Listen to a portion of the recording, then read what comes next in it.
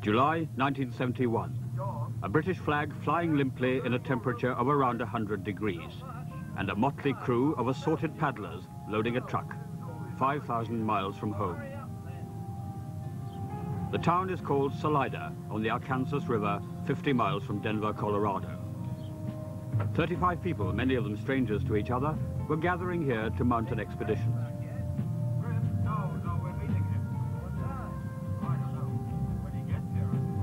Fiberglass canoes on the roof, people and supplies inside.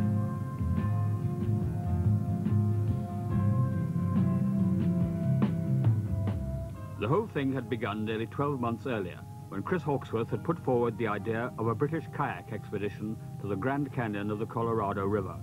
And now it was underway. Or very nearly. Another 480 miles of hot, uncomfortable driving over mountains and burning deserts, keeping on the move through the night to avoid the worst of the heat. And finally, stopping just one hour's drive away from the south rim of the Grand Canyon. Tired, undoubtedly, but excited too, and inevitably imaginations raced ahead.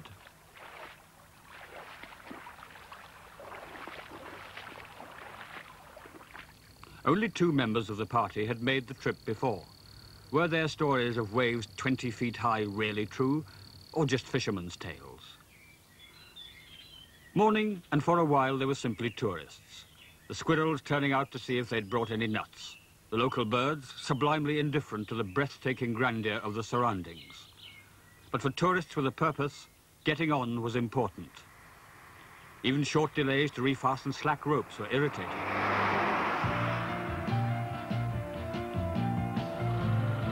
Over the little Colorado, not even a river just now, but unbelievably completely dry, waiting for the sudden rains which would bring it back to life again. 35 hot, impatient bodies across the last stretch of desert in one cattle truck and a hire car, stretching for a glimpse of the real thing, the Grand Canyon.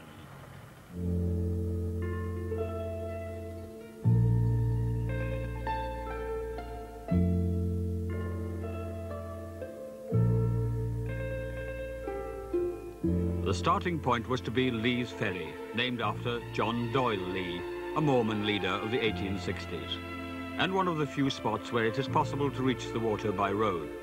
So over the Navajo Bridge, across the river. The river, the one they had come to see, the one and only Colorado.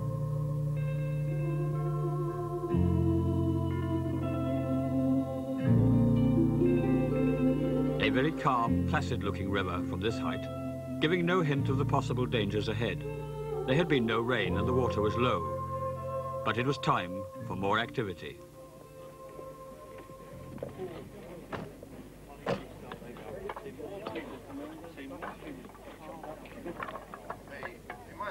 Paddles, canoes, kayaks, crash helmets, life jackets and all the other gear they were going to need on the river for the next 10 days and nights. If it had felt hot on the trucks, it seemed hotter still now as they sweated to unload it all. They were beginning to get to know each other by this time, as in any group with a common purpose, thrown together in strange surroundings. And finally, the most essential supplies of all, 42 crates of it. Meanwhile, one truck and a car were being driven another 200 miles to the takeout point at Diamond Creek, ready to collect the party at the end of their trip. While the others waited, Alan Donnelly couldn't.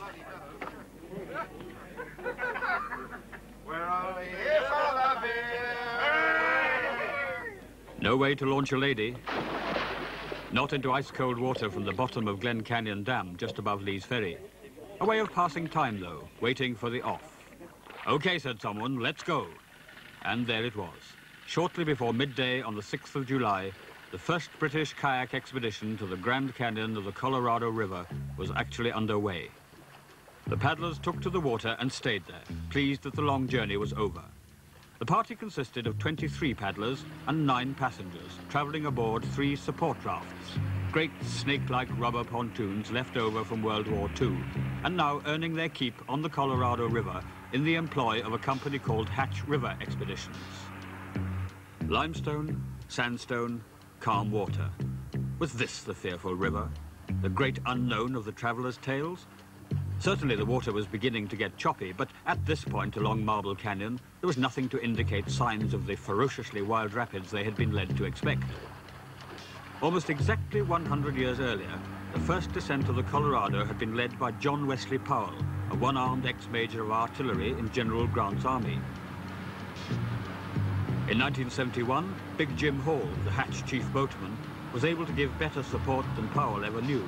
But now, as then, the man in the water is still entirely on his own.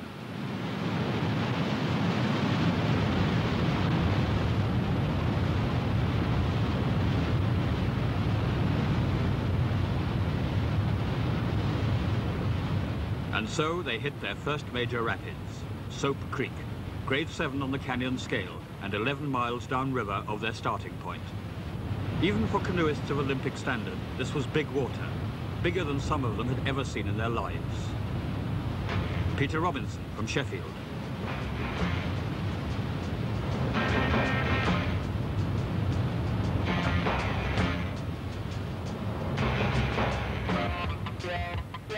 And Pauline Squires, destined to become the first woman single kayakist ever to run the Colorado. Grim determination. For Pauline, as for the others, a big test of courage and skill and the C2, first one of its kind on the canyon. Two men with a single paddle apiece.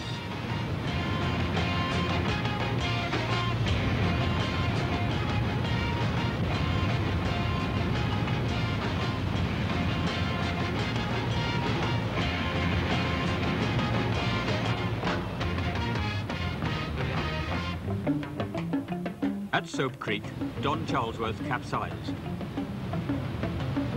This wasn't the first, nor indeed would it be the last time that someone went under. And although canoeists of this class have all the skills, Soap Creek provided hazards which needed to be treated with very great respect. As someone said, Soap Creek was a very hairy rapid.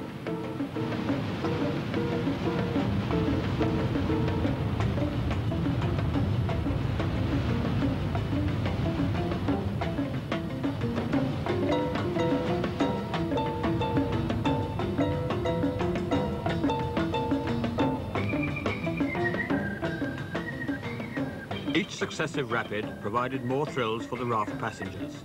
But the paddlers were finding ever-increasing demands being made on their skill and courage. Ernie Lawrence was thinking that... Each rapid seems to be just that little bit worse than the one you tackled yesterday. And the rapid you tackled yesterday, you imagine is just about the limit of your capabilities. So you always have this nervous feeling all the time. Before each rapid, they beached and had a good look, sizing up the water, choosing the right path, analysing the conditions.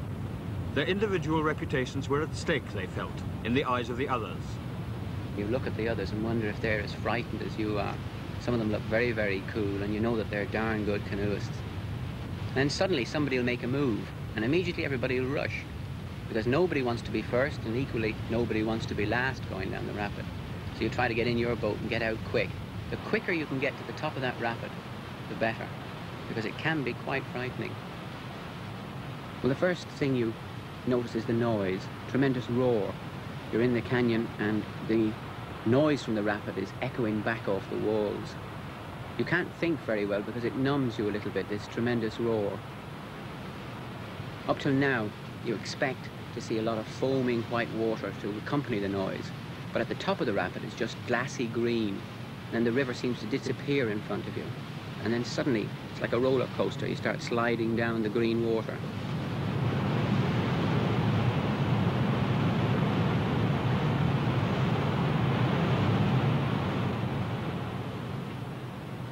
And while the feeling of trepidation at each succeeding rapid never quite disappeared, a sense of mastery, of gradually increasing confidence was taking shape.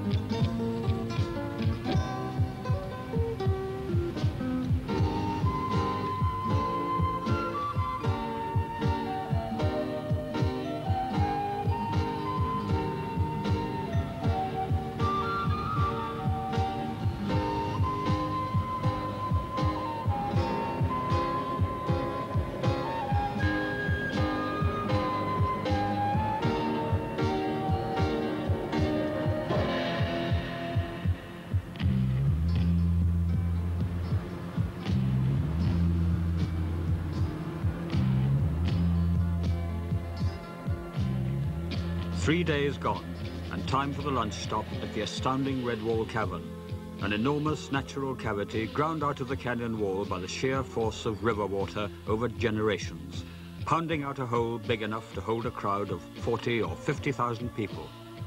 Heaven forbid, say the conservationists, that such a throng should ever reach a spot as remote and beautiful as this. Even the river does not reach the cavern anymore. Not since they built the great dams at Flaming Gorge and Glen Canyon to generate hydroelectricity for Los Angeles, 400 miles away. A sudden demand for electricity on the Pacific coast could affect the flow of this river to such an extent that an hour's stop might see a drop in level of five feet or more, and the rafts would have to be manhandled back into the water. The further down they went, the more difficult it became to anticipate the rise and fall in the level of the river, since the water itself, after being released at Glen Canyon, took longer and longer to reach them. And there was another factor which affected the water level, sometimes disastrously. Storms in the night, sudden rains and equally sudden flash floods starting in the far reaches of side canyons sent water surging down into the main river, raising its level by eight or ten feet and filling everything with water. The other effect of a flash flood is to bring down silt in vast quantities, turning the water to a chocolate brown. This change in the colour of the river was what the canoeists feared most, because the canoeist relies to a very large extent on the white water in the river to show him where standing waves, stoppers, holes, and so on are, so that he can avoid them or take appropriate action. But with the river, this dark brown or blood colour, it was impossible for the canoeist to spot the clear routes down the river. And under such circumstances, canoes inevitably capsized and were broken up.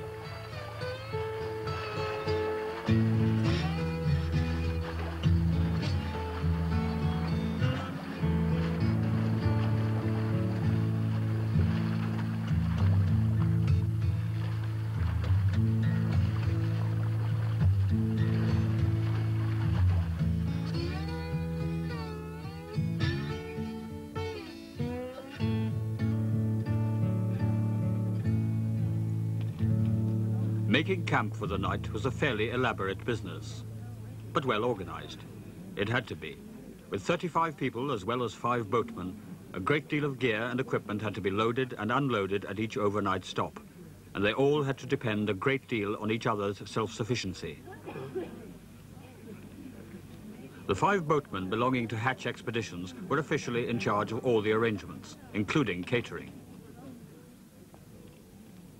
They had brought all the food, and they prepared and cooked it on fires built from driftwood collected on the run-in to the campsite. The travellers were unanimous in their approval of the food provided. Pork, beef, and enormous steaks from nearby Texas, filling their plates so full that there was no room for the vegetables. A variety of tinned fruit washed down with beer and soft drinks, and the inevitable gallons of coffee tasting good in spite of being boiled over and over. But each meal started with what became the famous cry of soup and salad, which sent them scrambling into the queue. With so much energy expended during the day on the river, the good food was needed to restore their natural ebullience. Why was he born so beautiful? Why was he born at all?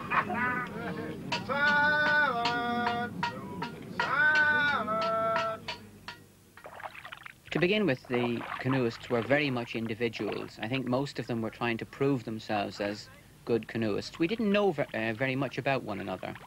At this stage, we hadn't developed particular friendships. But as the days progressed, we found ourselves clubbing together in small groups and looking after one another on, on the rapids. We soon began to realize that anybody that capsized and had to leave their canoe was in very, very serious trouble. And many of them were in serious trouble from time to time, producing an interesting reaction from the hardened American boatmen. First impression was that they weren't very friendly. And then I grew to realize that they were summing us up. They didn't know how to take us. At first, they just watched. And I think they thought that most of us were quite crazy. You know? Then I think they started to appreciate the finer points.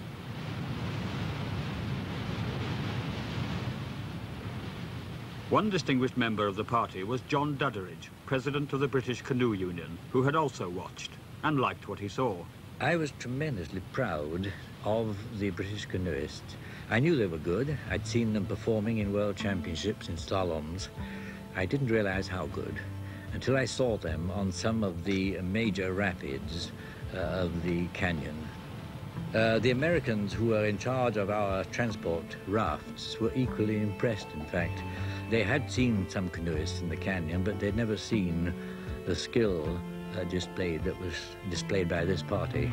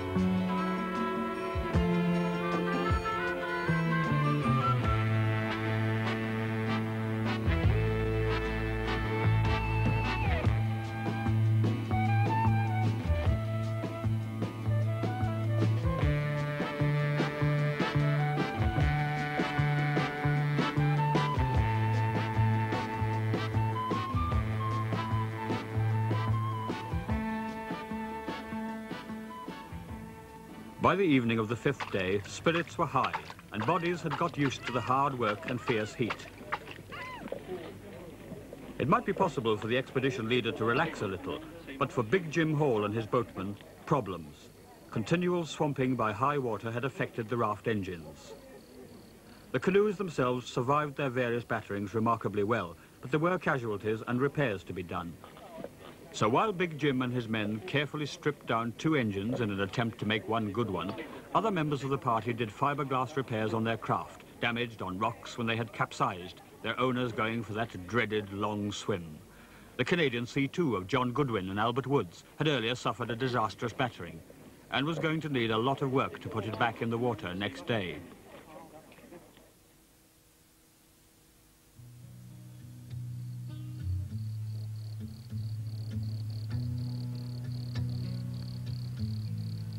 Only one of them had brought a tent.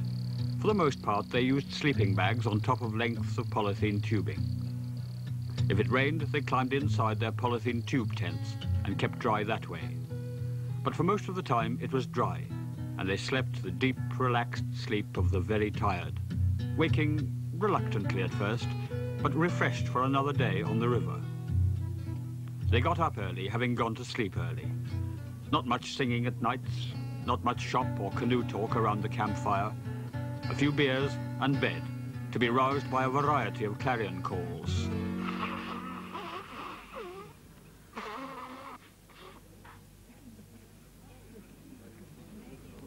They had taken precautions against the effects of the sun, which could lift temperatures in the canyon to around 120 degrees. Tablets to protect against sunburn and tablets to offset the cramp which can result from prolonged physical effort in such heat.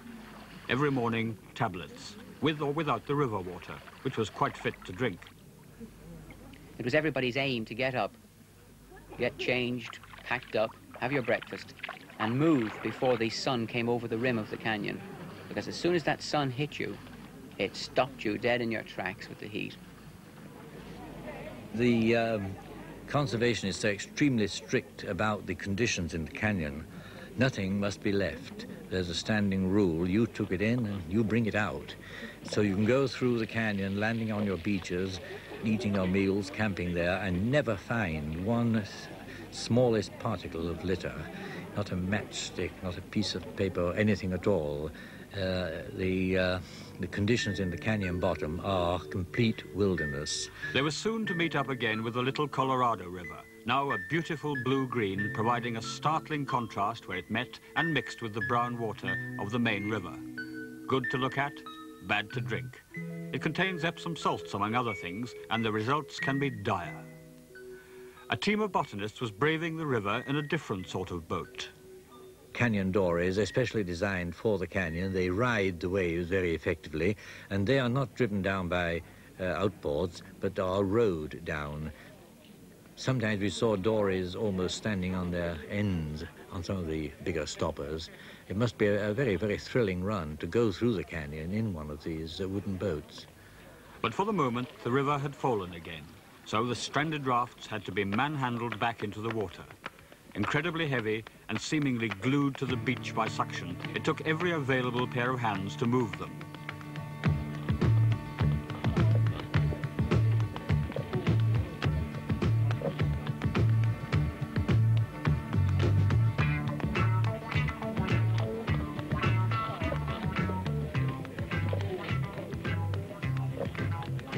It seems strange to think that the indirect cause of all their effort had been a mass switch on or off far away on the Pacific coast, even if only of electric light. Planning for the day ahead was always necessary. They would gather round for a briefing from Chris Hawkesworth and American canoeist Art Vitarelli, the only two among them who had previously made the trip, and who had practical advice to offer on what they might expect to find, and the best way to handle it. And meanwhile, the boatmen were busy with their vacuum cleaner, but reversed, so that they were not sucking, but blowing. The rafts tended to lose air during the heat of the day, so that by the time morning came with its cooler air, they needed pumping up again. The rafts pumped up, the paddlers briefed, all that remained was to clear up, to remove every trace of their presence from the site of the overnight stop, and to load the rafts once more, a task always heralded by that well-known call to action.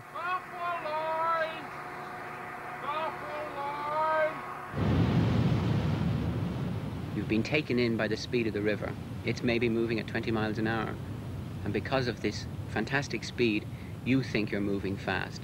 This is terribly dangerous to the canoeist because he depends on speed to penetrate this white water, to get through it and not to be stopped or to be carried like a twig at the mercy of the river. And the waves aren't moving, they're stationary, just big, big humps, big green humps. And you slowly, it seems to you, climb to the top of them. And then suddenly you realize that you're not moving fast enough, so you have to paddle like fury because the only way to get through some of this very white, rough water is to hit it as fast as you possibly can. You don't mess about. If you drift down like a log, you'll be thrown around like a log. You've got to be moving faster than the water. So you've got to suddenly cop on and start paddling as fast as you can.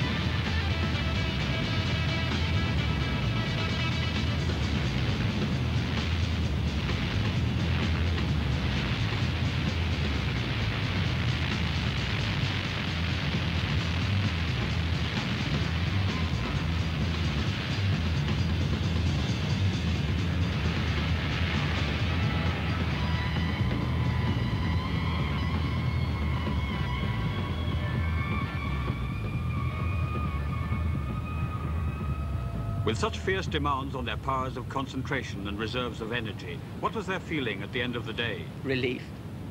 Pure and simple relief. and you get out of the canoe and you're delighted that you've made it. And then this little thought creeps into the back of your mind, tomorrow. And you know that each day the rapids are getting bigger. This is the nature of the canyon, that the rapids get bigger as you go on. So that this initial one of relief changes slightly to dismay. And you try to push it out of your mind and go and have a good meal and leave tomorrow to look after itself.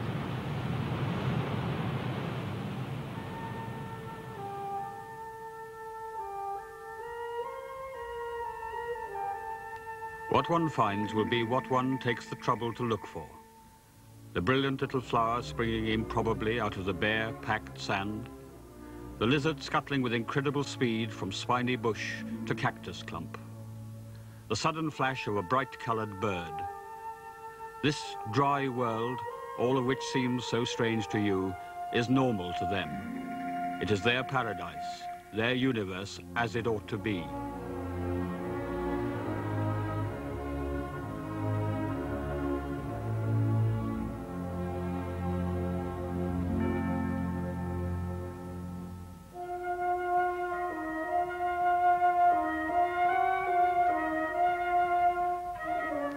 The first outsiders to visit the canyon were Spanish conquistadores in the 16th century. Indeed, the name Colorado derives from the Spanish word for red. Spurred on by local Indian legends, they had come seeking great cities of gold. What they found left them distinctly unimpressed. A harsh, uncompromising wilderness and a chasm which proved an impassable barrier to their ambitions. Indians, Spaniards, fur trappers, Mormon missionaries and settlers all came and went about their business without disturbing or even penetrating the canyon's secrecy and hard beauty. The river went on carving its own lonely history as it had done for millions of years. At Hermit, they saw the dory boats again, this time in action, being rowed backwards downstream in an attempt to travel slower than the water, in complete contrast with canoeing technique. As John Dudderidge had predicted, it was an exciting spectacle, and some of the botanists were getting very wet indeed.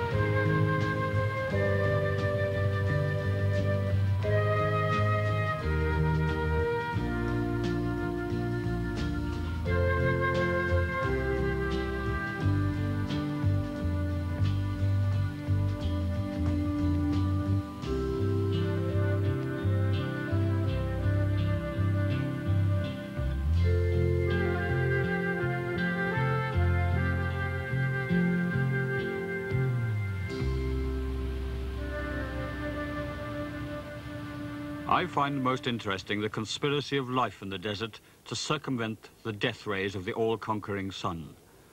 The beaten earth appears defeated and dead, but it only appears so. A vast and inventive organization of living matter survives by appearing to have lost. Animal life wears a hard, dry skin or an outer skeleton to defy the desiccation, and every living thing has developed techniques for finding or creating shade. There may be three or four different places where the rapid can be attempted. You may take the main channel, uh, or if you happen to be rather diffident about doing it at all, you may choose a channel fairly near the side and um, slip through whilst the river isn't looking. It was quite a, quite a trial of strength, not sheer physical strength, but nervous, nervous energy that expended a great deal. If it gets really bad, like it did, and you think, this one is just beyond my capabilities. One slight slip and you could be in real trouble. This happened to me on one of the rapids and I just chickened out. I didn't even bother to paddle down the side chute. I just lifted the boat up and carried it round. At first I was a little bit worried in case anyone would see me. But um, some of the boys probably have more respect for you if you use your intelligence and carry it round anyway, and not be the fool that goes down the middle who can't manage it. So even with more than a hundred miles of river behind them, they were still learning, never quite sure what the next hundred miles might bring.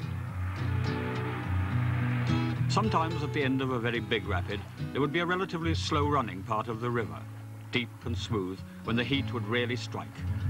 After a day like that, by the time they'd done 25 miles or so, the paddlers were more than ready to stop.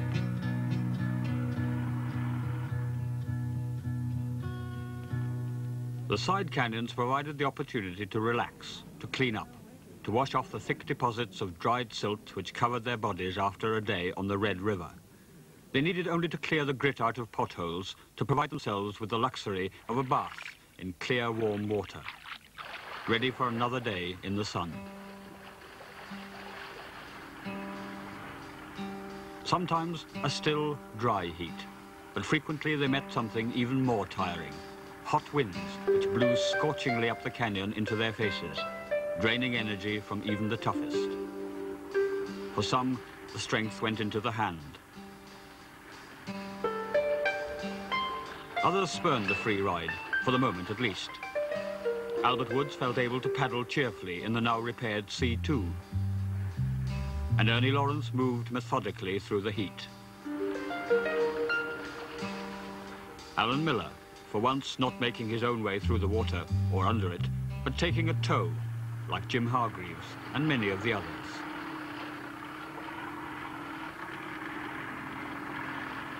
It was possible to sleep while still hanging on.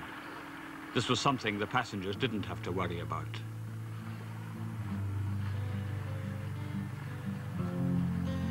Graham Castle, one of the two Royal Navy paddlers, was later to make a spectacular triple somersault in the big stopper at Upset Rapid, but as usual would emerge unscathed, much to the amazement of Big Jim Hall and his boatmen, who, although they spent half their life on this river, had rarely seen skills such as the ones displayed by these canoeists. Those skills would certainly be tested again and again on the big rapids towards the end of their trip, but on the calm water, in the heat, the trick was to hang on, and, like John Dudderidge, to keep cool.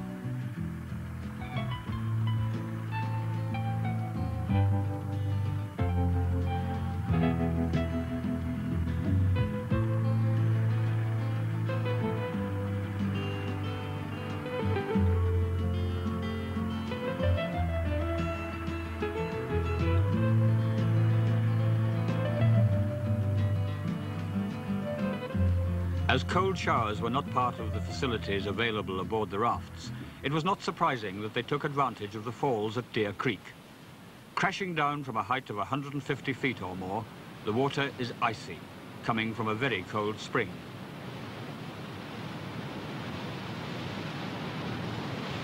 It cooled them and prepared them for the run down the next rapid.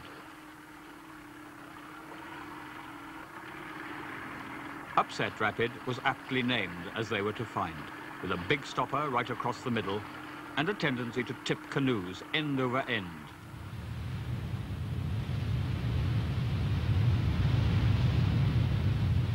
Alan Donnelly came down in his single-bladed C1, doing well most of the way, until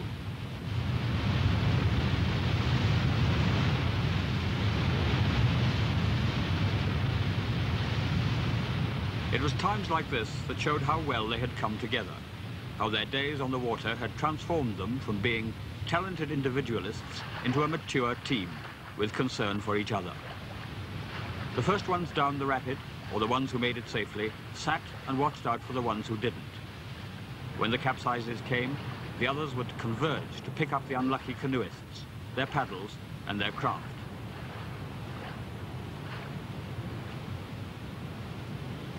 It was good to have been in the water.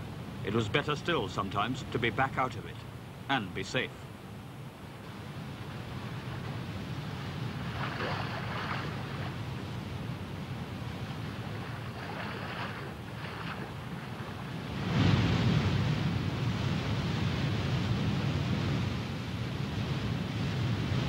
The amazing canyon walls dominate everything.